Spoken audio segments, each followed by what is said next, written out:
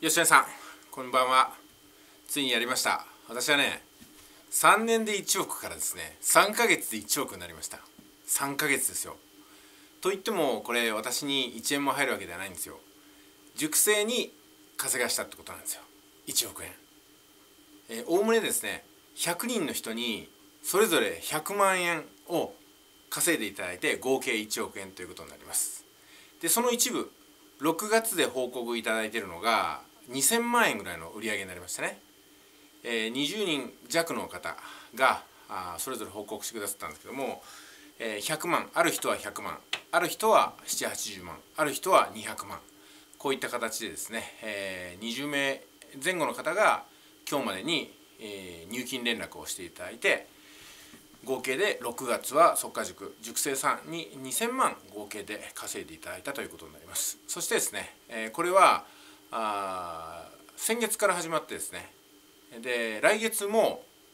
太いのが来ると思います。太いのってもね同じような形で1人100万とか200万なんですけども多分ね来月はね50人ぐらい出るんじゃないかなと思いますね。もう仕込みは完全で入金待つだけなんですよ。やることは何もありません。ただ本当に入金待つだけです。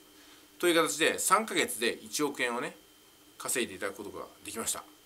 うん、で吉田さんの話もすごいためになって、まあ、ある意味ね負けてたまるかみたいな気持ちに私もさせられて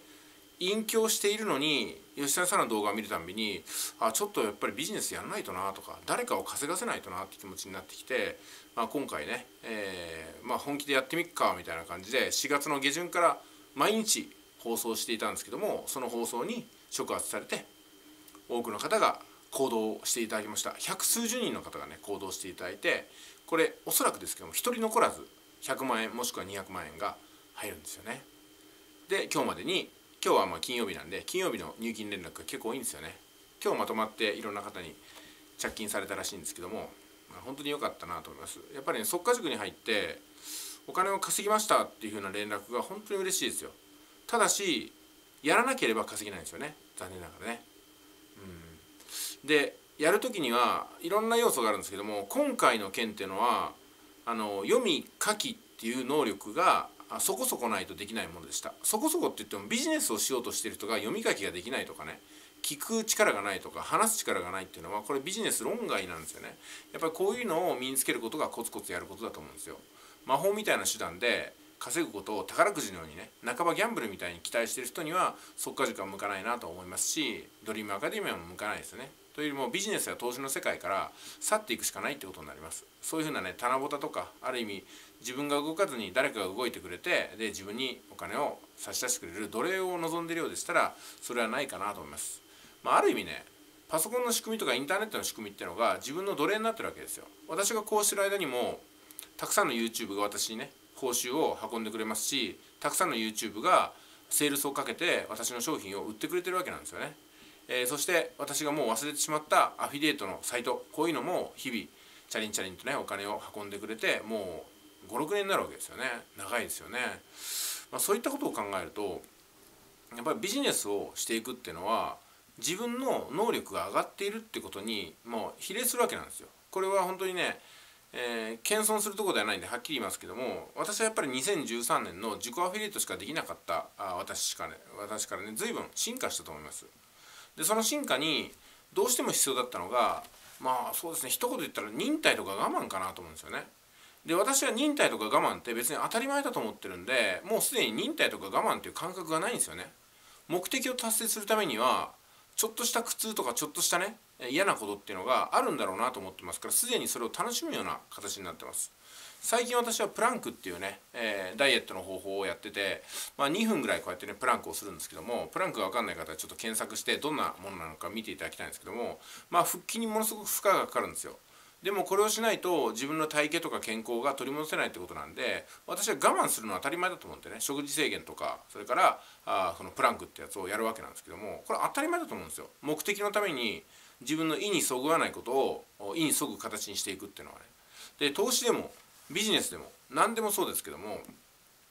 自分の能力の及ばないものに対して自分の能力をつけていくことでしか報酬にたどり着けないとしたらそれは自分の苦手分野を克服することでしかないと思うんですよ。ですから読み書きがダメな人はもうこれを機会に読み書きが上手になっていきましょうということもありますし喋るのが下手な方は喋るのが上手になるとこれ以外ないんですよね。うん、で聞き取る能力がない方行間を読む能力がない方はやっぱりそういうふうなねある意味空気を読むとか行間を読むみたいな真意を抜き出すみたいなねそういうふうな能力をつける必要があってそれができる人が勝ち残っていってそれを怠る人はいつまでたっても勝てないと詐欺商材を買あの買うもしくはまっとうな商品だけどもその扱い方を間違うみたいなことが起きるんじゃないかなと思うんですよ。さあそれで今日の動画の、まあ、まとめになりますけどもあの目的達成するためにね自分の力がない部分は我慢して乗り越えていく忍耐で乗り越えていくこれは当たり前だと思うんですよ。頑張ることも何でもないんですよ。当たり前だと思うんですよね。でもこれをねビジネスやるためにはコツコツが必要だとかね凡事徹底だとかあの積み上げていくんだみたいな意識っていうのは非常に低いレベルだと思います私は。そんなこと言われなくても別に意識しなくてもやるもんだと思うんですよ。もうそれに尽きるんですよね。んでこの忍耐ができる人が極端に少ないんですよね。忍耐ができないのにお金だけ欲しいとか自由になりたいとか言ってどそんな世界はどこにもないと思いますよ。やっぱりある意味我慢競争してるんじゃないですかねこの世の中っていうのは。でその我慢を我慢とも思わない人が楽しく楽に勝っていくというふうに見えるだけで、うん、やっぱりねプランクを2分するにしてもそれはお腹痛くなりますよ。大変ですよ。でもそれには強い体力と精神力がなければそして目的意識がなければできないことでもありますし、えー、今回お話ししてみたいなね熟成に1億円稼がすにはどうすればいいかなと。100万円を100人に稼がすっていう発想どうかなっていうふうになっていくわけなんですよ。で100万円を熟成一人一人の銀行口座にねじ込んでいくためにはどの情報を使っていくのがいいかなと。どのノウハウだったら今いる熟成さんの最大限の力でちょうどいい具合にね扱っていけるのかなっていうふうに考えた時に今回の私はノウハウに行き着いたということでございます。正確に言うとノウハウはなくて方法だけはあったんですけどもノウハウは私がやりながら作って私が先頭を切ってね